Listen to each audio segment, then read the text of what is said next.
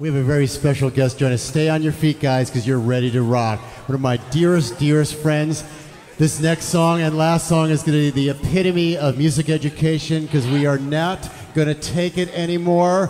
We are going to show everybody that music is important. And this next gentleman is the leader, one of the greatest rock and roll singers in the world, the, the most iconic singer, and the greatest, greatest man I've ever met. Ladies and gentlemen, the great Dee Snider.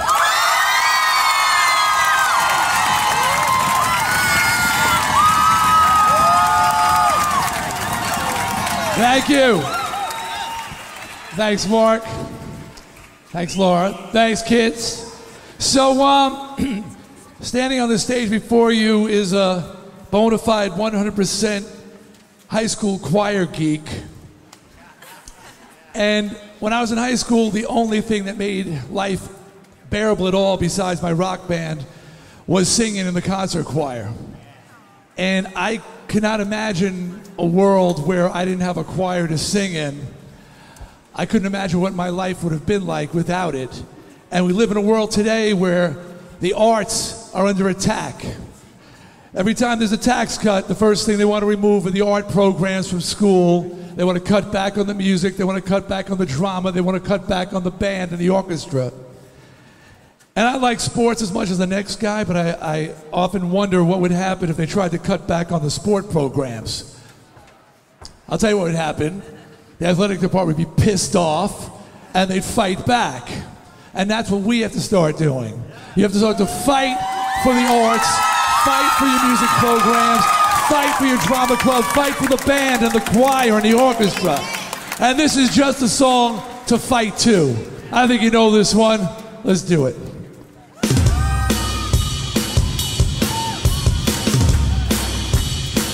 Give me that E.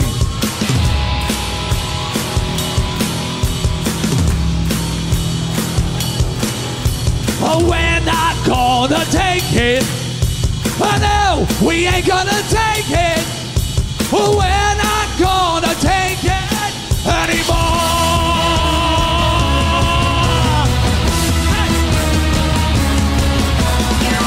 We've got the right to choose it. There ain't no way it. Oh, This is our life. This is our song. We'll fight the powers that be just. Don't destiny card. You don't know us. You don't belong. We're not gonna take it. We ain't gonna take it. We're not gonna take it anymore.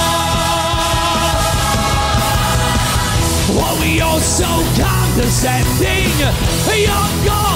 Never ending. We don't want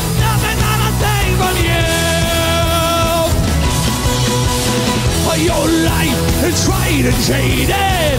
Bob Ring and Thomas Gated. If that's your